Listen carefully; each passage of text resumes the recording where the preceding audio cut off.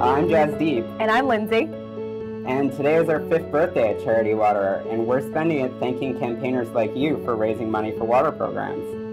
Your campaign raised $542, which will serve 27 people with clean, safe water. Also, your birthday is the same as my birthday, and I'll be 29 on April 26th, 2012. Hope you have a great day. Thanks.